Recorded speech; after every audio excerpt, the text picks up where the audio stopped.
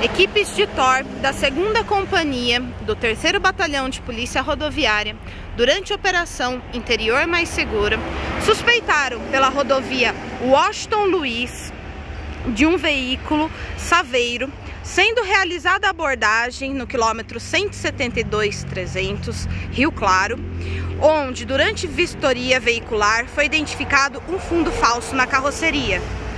Com o apoio do canil da Guarda Municipal, foi identificado odor para droga, sendo realizada a abertura da carroceria pelo Corpo de Bombeiros local.